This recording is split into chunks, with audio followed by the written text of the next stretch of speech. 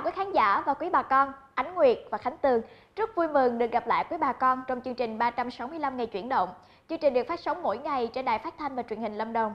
Trong khung giờ quen thuộc mỗi tối, hôm nay ngày 8 tháng 4 năm 2019, chúng tôi tiếp tục chia sẻ những thông tin mới hấp dẫn và thiết thực về hoạt động sản xuất nông nghiệp tại tỉnh Lâm Đồng và nhiều địa phương trên cả nước.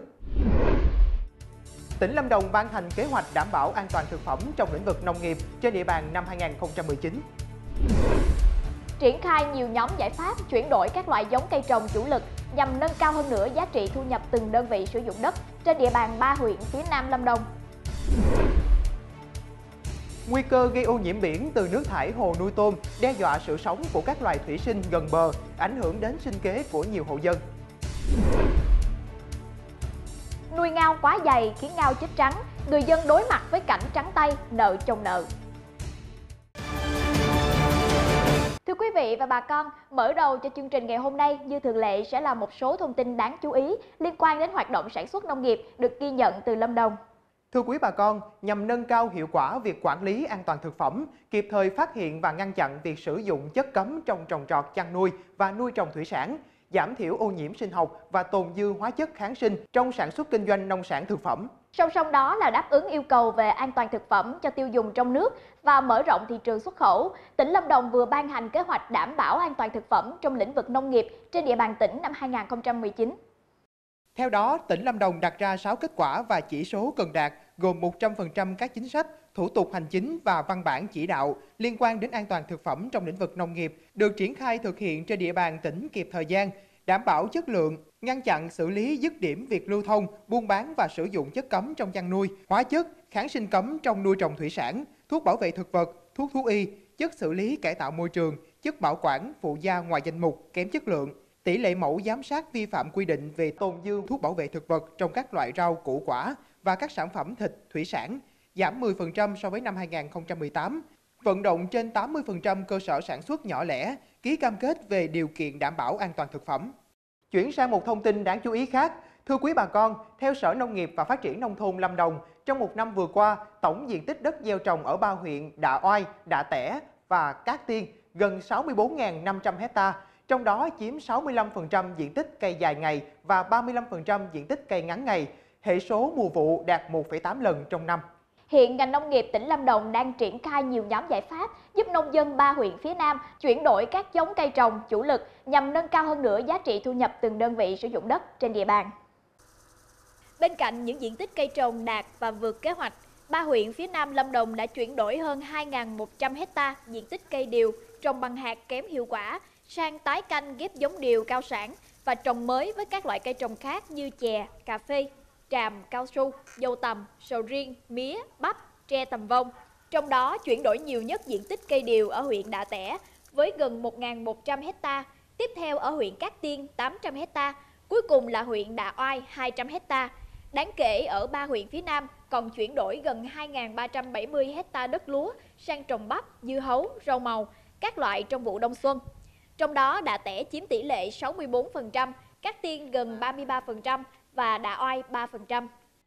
Để hoàn thành kế hoạch, ngành nông nghiệp xác định các nhóm giải pháp trọng tâm để phối hợp triển khai đồng bộ và hiệu quả, đặc biệt thực hiện đầy đủ chương trình hỗ trợ giá cây trồng năm 2019 cho nông dân chuyển đổi đất trồng điều kém hiệu quả sang trồng tập trung các loại cây ăn quả chất lượng cao, đất lúa một vụ sang trồng rau màu. Cũng liên quan đến việc định hướng phát triển của ngành nông nghiệp tỉnh nhà, Thưa quý bà con, kế hoạch phát triển chăn nuôi bò sữa trên địa bàn Lâm Đồng từ nay đến cuối năm 2019 vừa được phê duyệt với tổng kinh phí gần 3 tỷ đồng. Trong đó, gần 2 tỷ đồng vốn ngân sách nhà nước và gần 1 tỷ đồng vốn đối ứng của tổ chức cá nhân chăn nuôi bò sữa.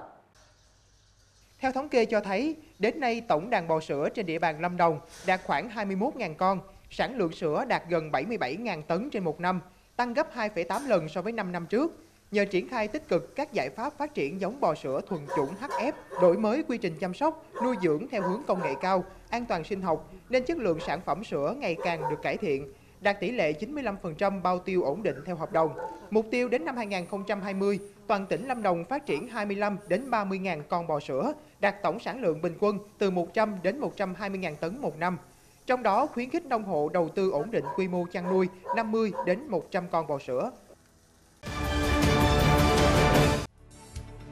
Liên tục chương trình, người dân ở Đồng Tháp bắt được cá và rùa lạ nặng ký. Nuôi ngao quá dày khiến ngao chết trắng, người dân đối mặt với cảnh trắng tay, nợ chồng nợ. Chuyên mục con số hôm nay, nhập khẩu phân bón quý 1 năm 2019 tăng 9,8% về giá trị. Chuyện nhà nông, sản xuất sạch, nâng cao chất lượng sản phẩm chế biến của Lâm Đồng. Bà con, bà Nguyễn Thị Nô, xã Tân Thành, huyện Lai Vung cho biết, gia đình bà vừa bắt được con rùa nặng gần 12 kg trong mương vườn. Phía trước mai có hoa văn, nhìn giống chữ hoa, thu hút người dân địa phương đến xem. Theo bà Nô, con rùa được con bà bắt trong mương vườn vào ngày 2 tháng 4. Con rùa nặng gần 12 kg, chiều dài trên 60 cm. Phía dưới mai có biểu tượng hình giống chữ hoa. Đã có người ngỏ ý mua lại, nhưng gia đình bà không bán mà quyết định thả về thiên nhiên. Qua tìm hiểu, đây là loại rùa răng có tên khoa học là Helsemi anidali. Có mai thuôn dài màu xám đậm đến đen, đầu nhỏ màu vàng nhạt, có các đốm đen, hàm có khứa hình răng cưa đặc trưng.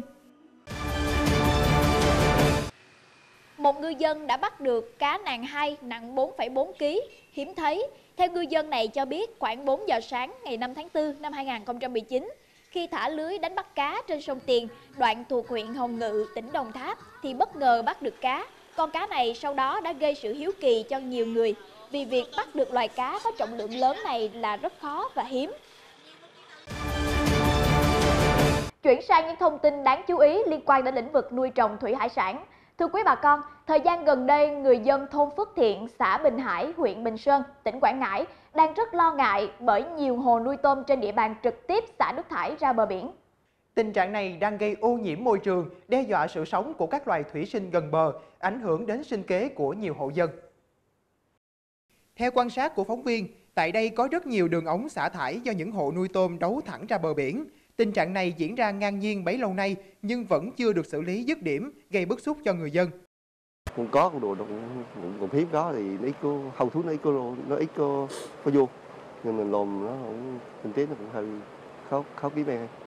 Được biết, vùng biển thôn Phước Thiện là một trong những khu vực đẹp nhất của huyện Bình Sơn, có tiềm năng để phát triển mạnh về du lịch, nên nếu tình trạng này không chấm dứt sớm, không những sức khỏe, hoạt động đánh bắt thủy sản của người dân bị ảnh hưởng, mà ngay cả tiềm năng du lịch của địa phương cũng có thể bị hủy hoại. Thưa quý bà con, hiện tượng ngao chết ồ ạt một cách bất thường hơn nửa tháng nay đã khiến người nuôi ngao ở vựa ngao lớn nhất xứ Thanh đang đối mặt với cảnh trắng tay, nợ chồng nợ bởi toàn bộ số tiền đầu tư đã dồn hết cho ngao. Đến thời điểm này, có tới 100% hộ nuôi ngao xã Hải Lộc của huyện Hậu Lộc đều có ngao bị chết. Thiệt hại của các hộ từ 30% đến 100%, số ngao chết lên đến hàng nghìn tấn. Vỏ ngao chết phơi trắng bãi ngao rộng hàng trăm hecta.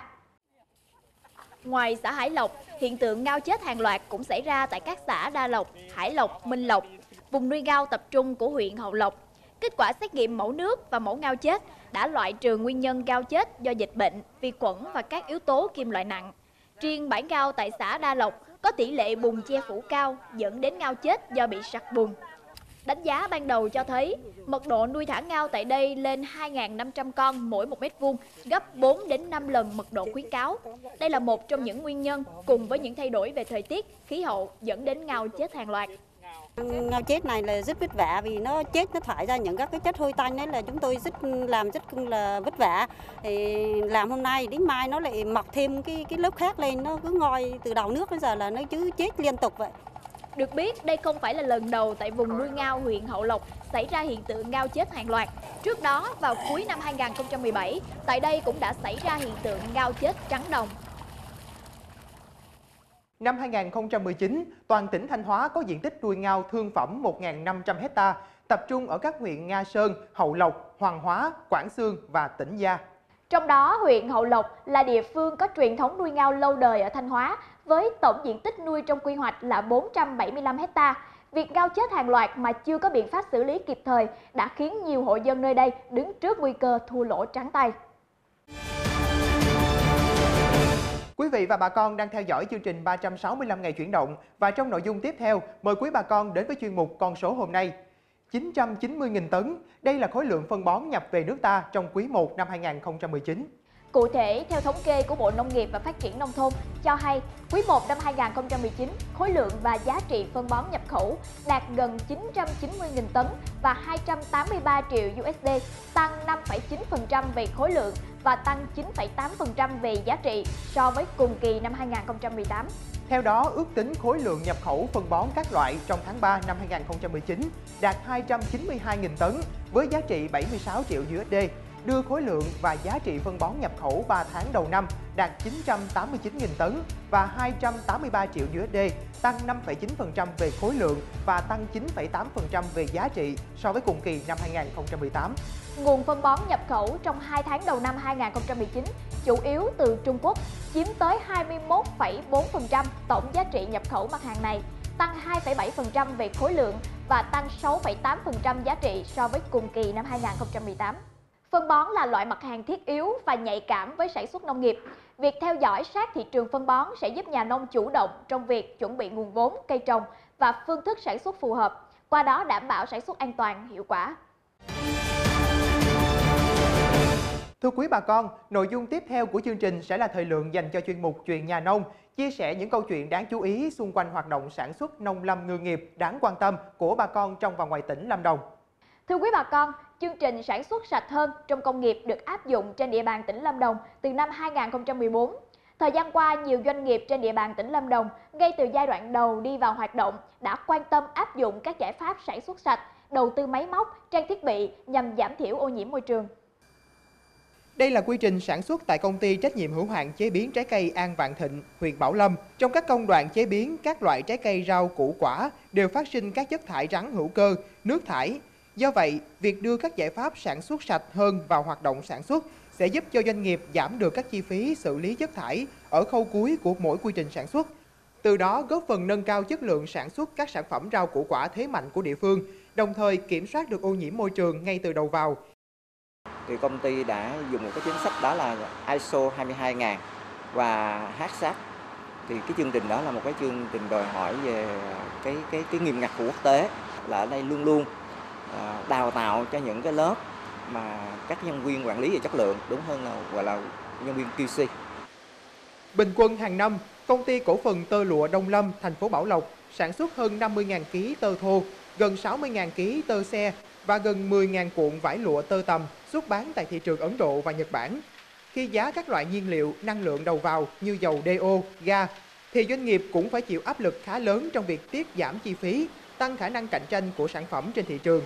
Đầu năm 2017, công ty cổ phần tơ lụa Đông Lâm đã tìm phương án thay thế củi trong đốt lò và cải tiến công nghệ nồi hơi. Do đặc thù của công nghệ ươm tơ cần phải sử dụng hơi nóng nên việc thay thế hoàn toàn việc đốt củi sang nhiên liệu đốt khác như dầu FOR là giải pháp để đơn vị này hạ giá thành sản phẩm, đồng thời giúp giảm được lượng khói thải vào môi trường và chi phí nhân công. Công là hiện tại là nhập hai cái lò để, để đốt bằng dầu thì nó tiết kiệm được nhân công rất nhiều. Thứ hai là về chi phí sản xuất thì nó sẽ giảm đi thay vì lúc còn nguyên liệu củi thì mình về mùa mưa mình cần phải cái bãi chứa rất là rộng, cái nhà xưởng rất là rộng để chứa nguyên liệu. Nhưng bây giờ thì không cần. Trước sự cạnh tranh gay gắt của thị trường trà trong nước và thế giới, các doanh nghiệp sản xuất, chế biến trà phải tìm hướng đi thích hợp, trong đó chú trọng nâng cao chất lượng, sản xuất trà sạch và hạ giá thành sản phẩm. Công ty cổ phần Long Đỉnh cũng không ngoại lệ. Đơn vị này đã thay đổi hệ thống sấy trà bằng điện để hoàn thiện quy trình sản xuất trà theo tiêu chuẩn organic, đồng thời góp phần thực hiện chương trình áp dụng các giải pháp sản xuất sạch hơn vào thực tiễn tại doanh nghiệp. Thay vì trước đây chúng tôi dùng máy sấy trà bằng dầu thì cái máy này nó đã giúp chúng tôi tiết kiệm được năng lượng, nhiên liệu và đồng thời là tiết kiệm chi phí trong suốt một năm hoạt động của công ty. Những tín hiệu lạc quan trong nhận thức từ chính doanh nghiệp trong việc áp dụng các giải pháp sản xuất sạch trong công nghiệp chế biến sẽ là tiền đề cho việc nâng cao chất lượng sản phẩm chế biến của Lâm Đồng trong thời gian tới.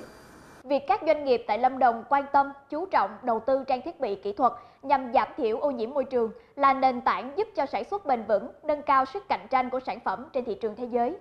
Và nội dung trên cũng đã khép lại chương trình 365 ngày chuyển động hôm nay. Quý vị và bà con quan tâm, đóng góp, chia sẻ thông tin, vui lòng gửi email về chương trình tại địa chỉ 365 ngày chuyển động ltv.gmail.com hoặc gọi điện qua số điện thoại 02633 829 930. Chúng tôi xin kính chào tạm biệt và hẹn gặp lại trong chương trình ngày mai.